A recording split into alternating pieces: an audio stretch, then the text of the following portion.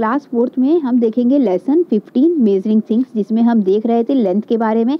Length क्या होता है, हम जान लिए थे और लेंथ को हम किन किन चीज़ों से मेज़र करते हैं, ये हम जान लिए थे। अब हम देखेंगे measuring length using a ruler ruler मतलब होता है स्केल और उसको दिखता कैसा है, इस तरीके का हमें दिखता है। हम अच्छे तरीके से इससे परिचित हैं और हम सबके पास ये होता ही है, ठीक है? बिना इसके हम लाइन नहीं खींच पाते हैं। लाइन खींचने के लिए हम सभी इसका इस्तेमाल करते हैं। चलिए आगे देखते हैं। आज हम इसमें देखेंगे measuring things using a ruler हम इसका इस्तेमाल करके लाइन किस तरीके से खींच सकते हैं, सही तरीका क्या है इससे लाइन खींचने का, हम इसके बारे में जानेंगे। तो चलिए शुरू करते हैं। A ruler has marking in centimeter and inches आप अपना रूलर उठा के देखेंगे स्केल उठा के देखेंगे तो उसमें मार्किंग किसमें दी रहती है? सेंटीमीटर और इंचेस दोनों में उसमें मार्किंग की रहती है, ठीक है? उसमें आप उठा के देखेंगे तो लिखा रहता है सेंटीमीटर और उसके बाद एक साइड में उसके लिखा रहता है इंचेस ठीक है? इधर वाला जो, इधर वाला जो ये पूरा पार्ट है, ये सेंटीमीटर के लिए दिखाया गया और ये इंचेस के लिए दिखाया गया है, ठीक? While using it we need to take care of certain things हमें इसको यूज़ करते समय कुछ चीज़ों का ध्यान रखना पड़ता है। Let's see how we can measure the length of a given line correctly using centimeter make marking in a ruler चलिए देखते हैं कि हम कोई भी लाइन जो है उसकी लेंथ को किस तरीके से नापेंगे।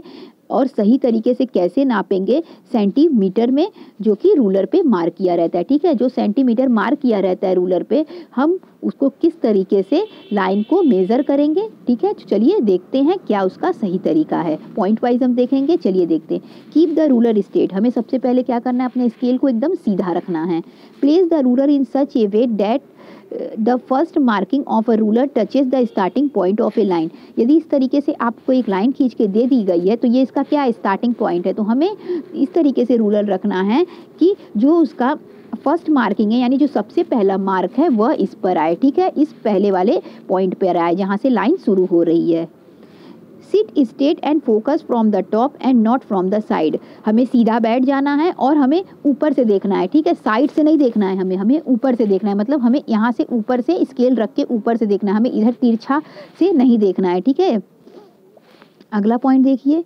Avoid using a ruler with broken edges यदि रूलर टूटी और रूलर के किनारा टूटा हुआ हो तो उस तरह के रूलर का इस्तेमाल करने को अवॉइड करना चाहिए, नहीं करना चाहिए उस तरीके के रूलर का इस्तेमाल, क्योंकि वैसा इस्तेमाल करने से हो सकता है हमारी लाइन गलत हो जाए। आगे देखिए, हमारा मेज़रमेंट गलत हो जाए। The length of the line would be reading on the ruler that touches the end point of the line it is given in picture it is ten centimeter उसके बाद क्या कर लेना है? उसके बाद स्केल से हमें लास्ट पॉइंट को देख लेना है, जो लाइन का लास्ट इंड है, उसको देख लेना है कि वह कहाँ पे जाके ठीक है, ख़त्म हो रहा है। जहाँ पे जाके वो ख़त्म होगा, वो क्या होगा? वही लाइन की लेंथ होगी। देखिए, यहाँ पे एक स्टार्टिंग पॉइंट दिया है, यहाँ पे स्केल रख दिया गया और ये टेन सेंटीमीटर पे इसका इंड पॉइंट था लाइन का, ठीक है? तो हम जब इसको इस पर रख के नापे तो हमें कितना मिला? टेन सेंटीमीटर मिला।